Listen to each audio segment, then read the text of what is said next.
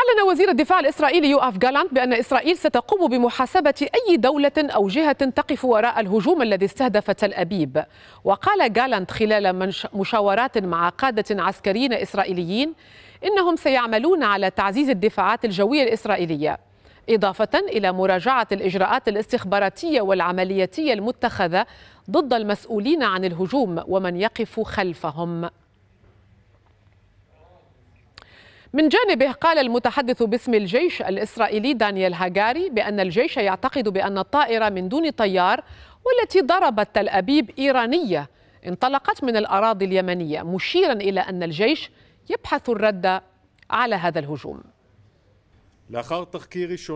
بعد التحقيق الأولي الذي قمنا به في عين المكان وبناء على الأنظمة العسكرية يبدو أنها طائرة من دون طيار من طراز صماد ثلاثة وتقديرنا أنها وصلت من اليمن إلى تل أبيب. صماد ثلاثة هو سلاح إيراني تم ترقيته على ما يبدو لتوسيع نطاق الطيران الذي تدعمه إيران ووكلاؤها في المنطقة. أما فيما يتعلق بالحوثيين فقد أعلن المتحدث باسمهم يحيى سريع مسؤوليتهم عن الهجوم الذي استهدف مدينة تل أبيب بواسطة طائرة مسيرة.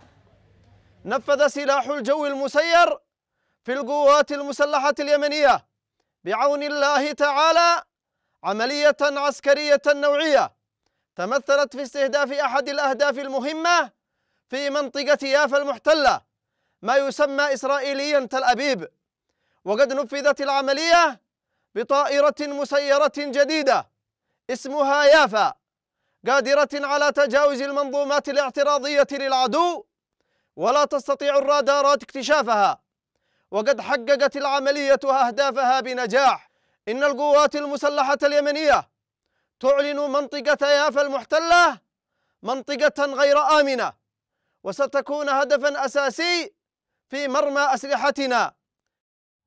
للمزيد ينضم إلينا من من تل أبيب فراس لطفي ومن عدن ياسين الرضوان.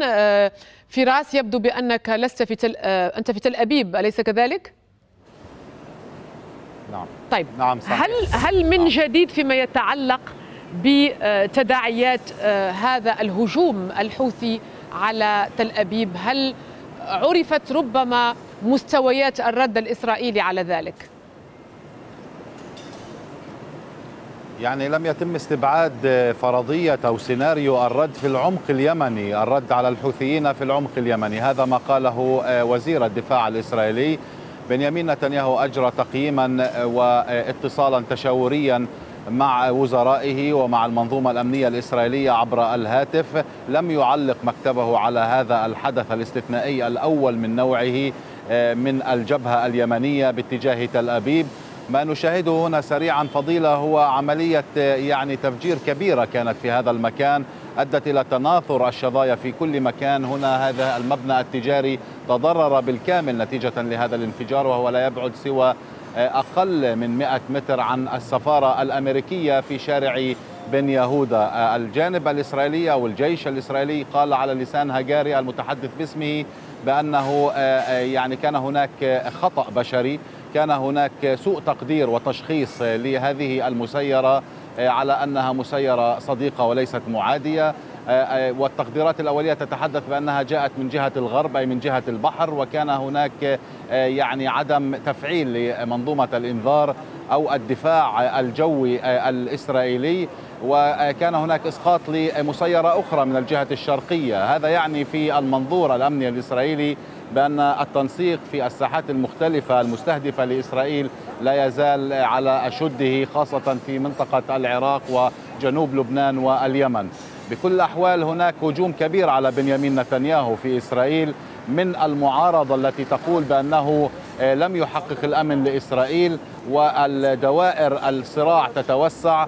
وجاءت هذه الضربة في الوقت الذي كان فيه يجلس نتنياهو ويلف قدمه على الأخرى في رفح ويقول بأننا سنحقق النصر المطلق. وهذه المسيرة جاءت لتنسف أقوال بنيامين نتنياهو بالقول بأن قطاع غزة اشتعلت فيه الحرب وتتوسع اليوم دوائرها في منطقة من جبهة اليمن والعراق وجنوب لبنان بن كبير شريك بنيامين نتنياهو نعم. في نعم. الحكم كان قد أصدر تصريحات دعا فيها إلى ضرورة شن حرب على لبنان لإنهاء هذه الظاهرة واستعادة الردع وقوة الردع بيد إسرائيل نذهب إلى عدن مع ياسين الرضوان. ياسين يحيى سريع هدد بالمزيد.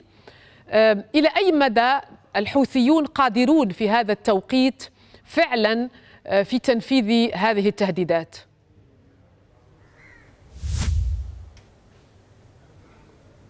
نعم فضيلة بالنسبة للتهديدات الحوثية هم يرددونها بشكل مستمر على أنهم يفعلون ما يستطيعون عليه ووفق الإمكانيات لكن البيان الأخير تحدث عن هذه النقطة وعلى وجه التحديد وأنهم قادرون على الوصول إلى تل أبيب وإلى أهداف حساسة أمنية وكذلك عسكرية وأن لديهم بنك أهداف كبير وواسع في داخل إسرائيل وتحديدا في قلب إسرائيل في تل أبيب وتحدثوا على أن لديهم أن مدى أسلحتهم تصل حتى تل أبيب. وكما أيضا تتحدث العديد من القيادات الحوثية قبل قليل بتصعيد هذه العمليات النوعية وأنها لا يمكن أن تتوقف. كما يركز أيضا الحوثيين على الخلفية الشعبية وعلى التظاهرات المستمرة والاحتجاج لتكون غطاء لهذه العمليات. بينما أيضا أعلن يحيى سريع وهو الناطق العسكري بأن هذه العملية تمت بطائرة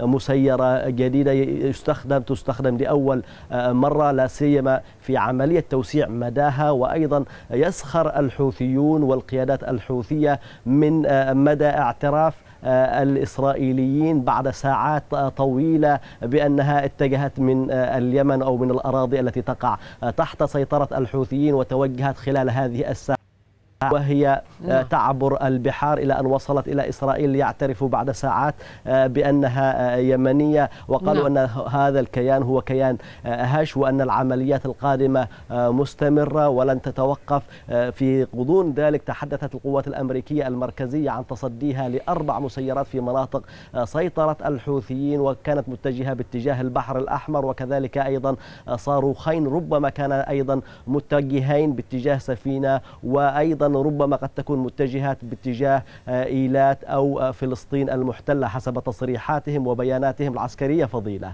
شكرا لك ياسين الرضوان أشكر أيضا فراس لطفي شكرا لكما.